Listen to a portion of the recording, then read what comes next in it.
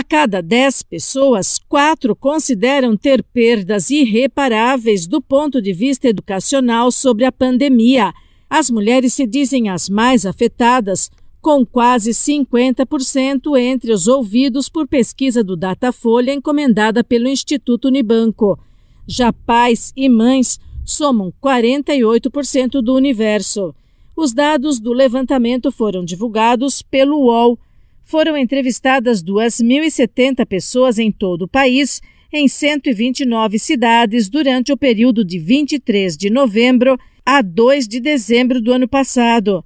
Homens e jovens de 16 a 24 anos são mais otimistas em relação aos efeitos da pandemia na educação. De 61 a 71% acham que o quadro é reversível. A pesquisa também questionou sobre a importância da educação durante a pandemia.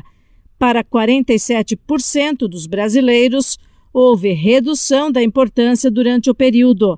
A visão é mais positiva nas classes A e B, onde 43% entendem que a importância cresceu.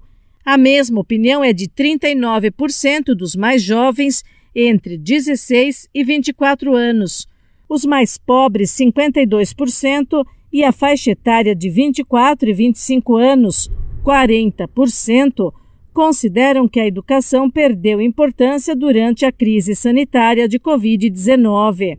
Da Rádio 2, Bernadette Druzian.